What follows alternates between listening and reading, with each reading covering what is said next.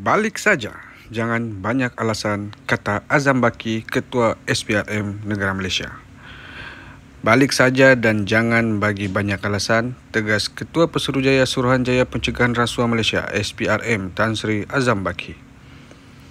Beliau berkata demikian ketika mengulas mengenai peguam yang juga pengarah dan pemegang saham NERS Sendirian Berhad iaitu Mansor Saad serta menantu bekas Perdana Menteri Tan Sri Muhyiddin Yassin. Datuk Seri Muhammad Adlan yang dicari SPRM. Saya tetap dengan pendirian saya.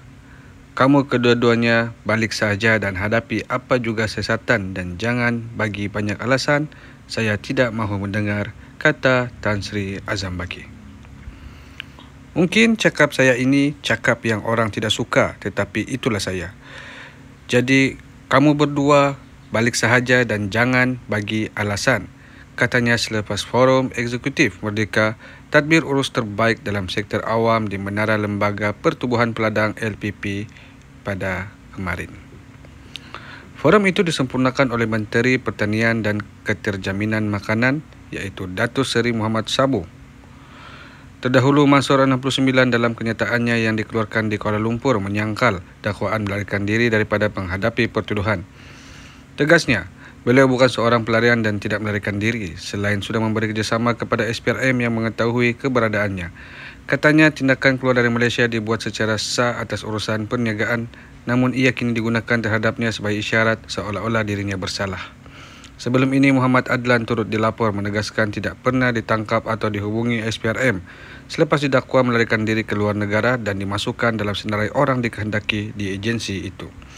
Semakan rekod mendapati Muhammad Adlan dan Mansur meninggalkan Malaysia masing-masing pada 17 Mei dan 21 Mei lalu dengan tiada rekod kembali ke tanah air.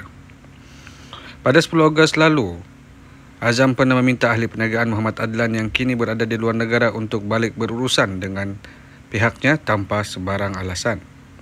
Azam turut menafikan SPRM baru mencari menantu bekas Perdana Menteri itu. Sebaliknya, agensi berkenaan sudah beberapa kali mencuba menghubungi beliau.